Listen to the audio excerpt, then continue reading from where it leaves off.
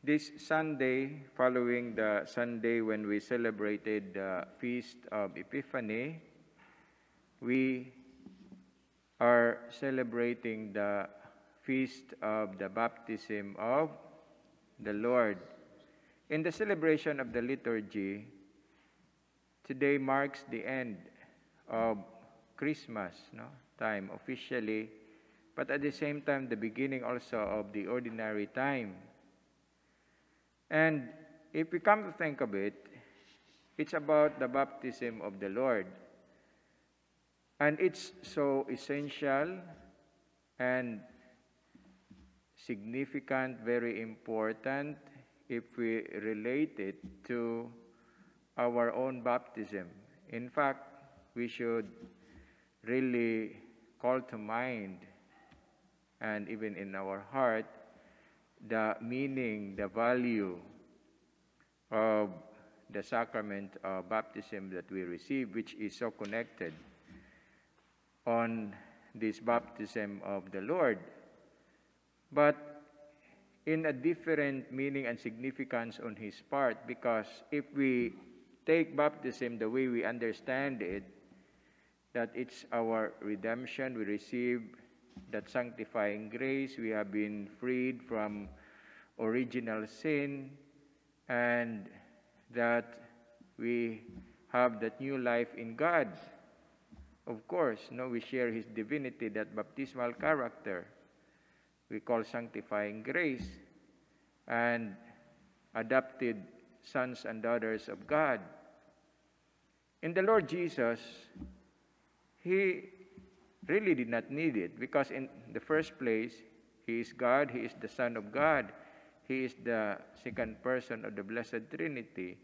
He is the Savior, the Messiah, as John the Baptist would testify in the gospel that he is not the one, but the one who is coming and in the person of the Lord Jesus is the Savior.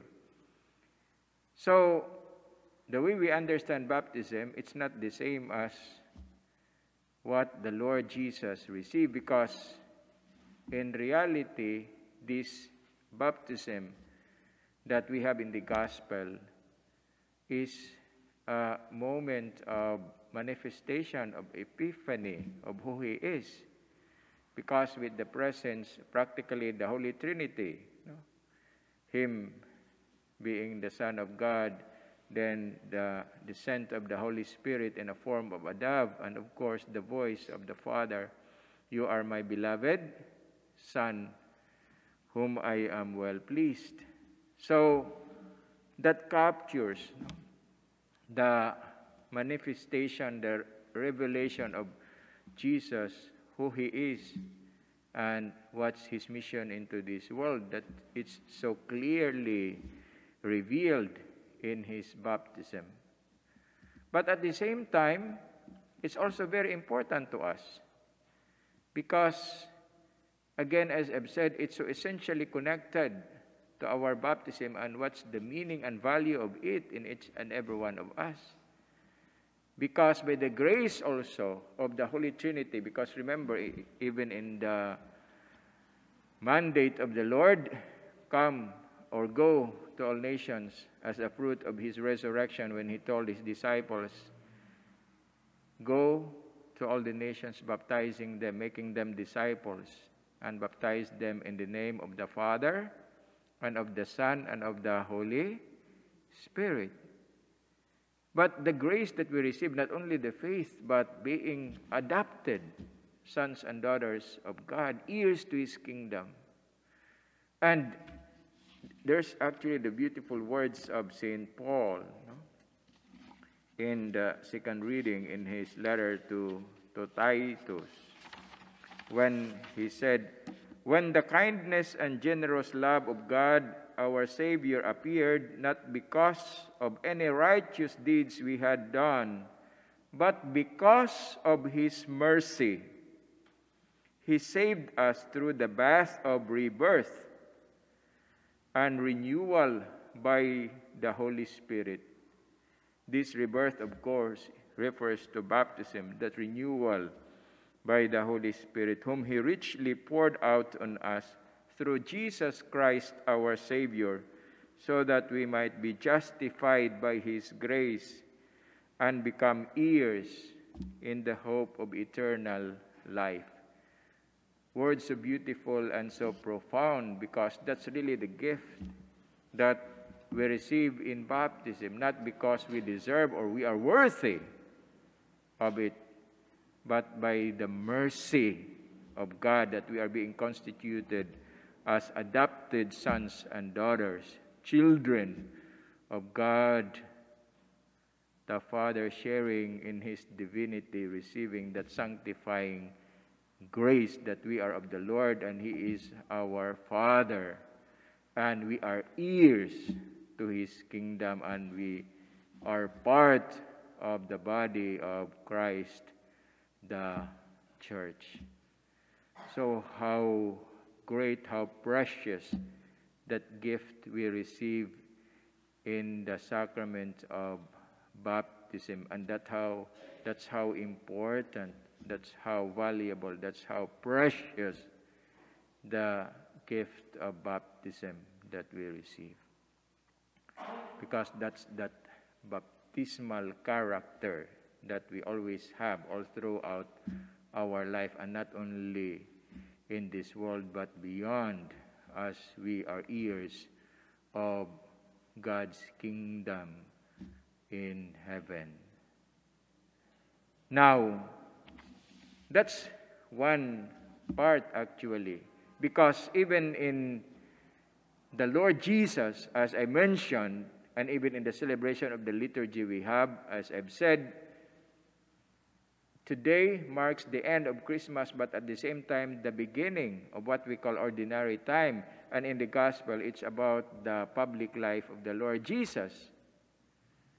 Because it's the inauguration of his ministry. We call it the public life of the Lord when he began to proclaim the kingdom of God, baptizing people, healing the sick, and preaching and expelling demons, and ultimately, of course, with all those miracles and encounters we had with the people, revealing to one and all the mercy and the love and the compassion of God, and ultimately on his sacrifice in his passion, death, and resurrection.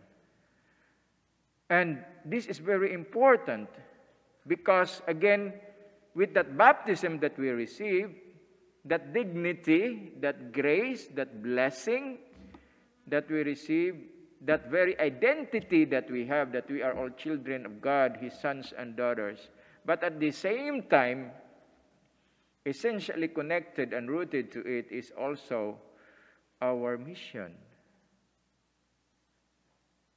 That public life, that witnessing that we are tasked to do as real children of God. That giving, no, bringing the good news of salvation, proclaiming and building up the kingdom of God, giving healing and comfort to those who are sick, to those who are hurt and in pain and suffering, giving hope to those who are feeling hopeless and dying and dead, and of course, proclaiming the truth of the love and mercy of God to others. And that's always our task, our mission, that essentially flows from who we are and what we are as children of God. In other words, that we have to be consistent, really, in regards to our very life that we live and in our actions, not only in words, of course, but in deeds. And we can relate this to anything actually, even in the celebration of the 500 years gifted to give. No? It's basically the same. Gifted by this faith, which, of course, the introduction of Christianity, but in our Christian life, the sacrament of baptism. But again, as we are being gifted, we share. And not only in good times, but in bad. And in our experience these days, it's so true and relevant in these very challenging times when we are being tested by our faith.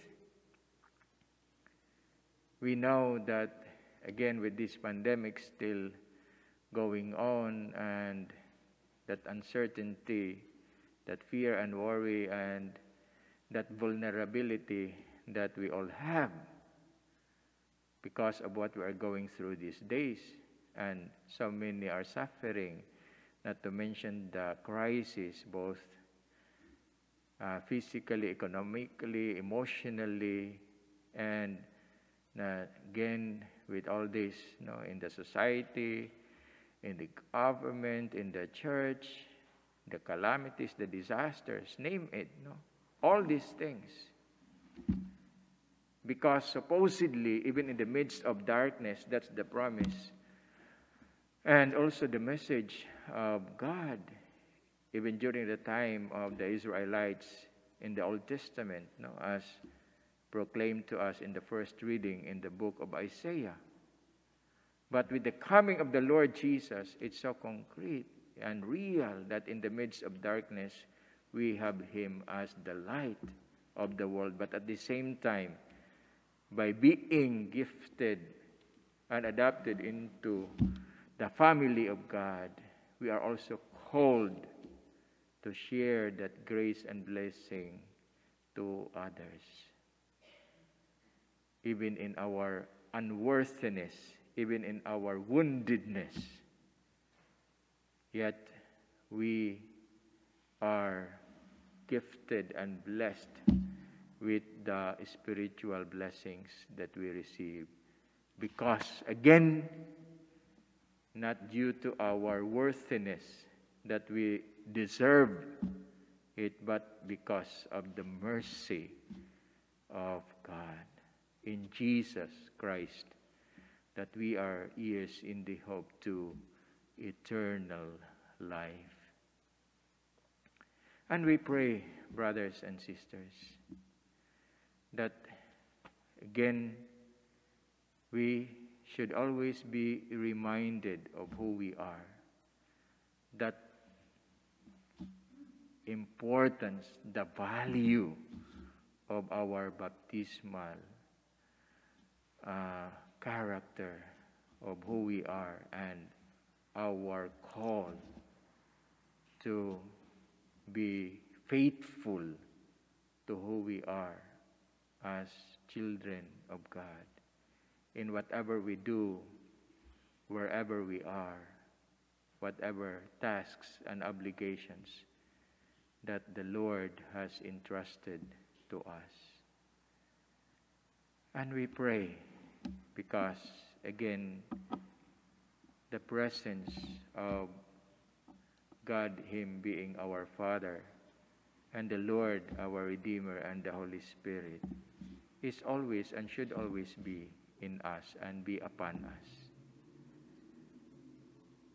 So, with this, in the holy sacrifice of the Mass, as we turn to Him in His most divine mercy, may in each and every one in our hearts and minds, really that divine mercy of the Lord touch our hearts so that we may be always inspired to live up to our identity and call as baptized children of God in this world that we live, in the here and now of our lives.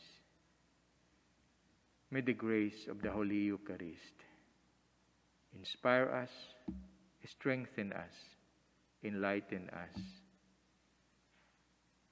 Amen. Please stand.